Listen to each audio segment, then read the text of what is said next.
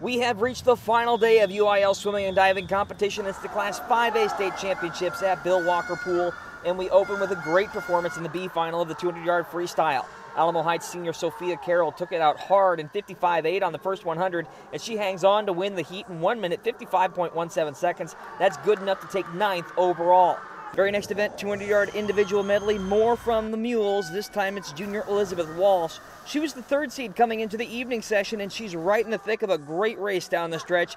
Not quite enough to make the podium, but she still finishes fourth overall in 2 minutes, 5.22 seconds. It feels amazing. I truly have worked so hard for this moment, and I have amazing coaches who've really helped me achieve this. We have had setback after setback, but and with the snow recently, we were out of the water, but it feels amazing to really achieve um, something after persevering through this season for a long time. Walsh also took sixth in the 100 yard breaststroke and was a major factor in both the Alamo Heights relays, the 200 yard medley relay and the 400 yard freestyle relay. The Mules took ninth in both of those events. And a quick note in the consolation heat of the 200 IM, Boerne champions Tess Ziemba took 13th in 2 minutes 11.55 seconds. Her teammate Peyton Brehmer was on the blocks in the A final of the 50 yard freestyle. Swimming out of lane 7, Brehmer drops a 10th off of her seed time and holds on to her seed placement, taking 6th overall in 24.3 seconds.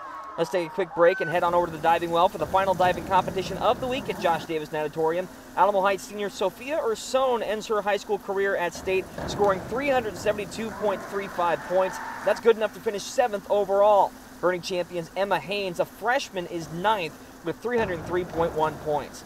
After a quick break, it was time for the 100 yard butterfly, and the Mules got another solid performance from junior Lila Foote. She touches seventh in 57.75 seconds.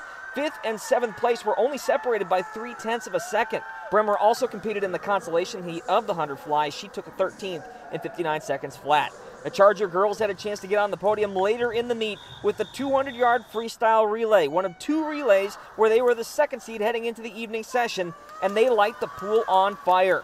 Paige Clark leads off in 24.8. Regan Garcia and Tess Ziemba throw down 24 ones, and Brehmer anchors in 23 7 to win the event in 1 minute 36.92 seconds.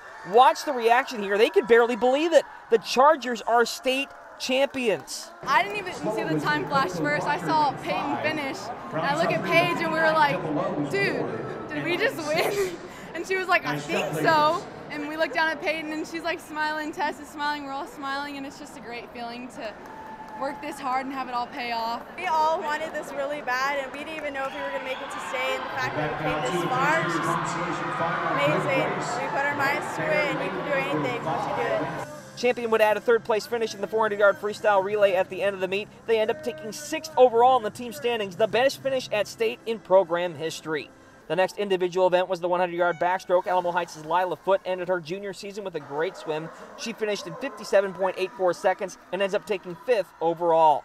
Congratulations to all of the swimmers and divers who competed on Tuesday night and to all of our area athletes who swam all season long. For full recaps of every major meet from the greater San Antonio area, head on over to ksat.com.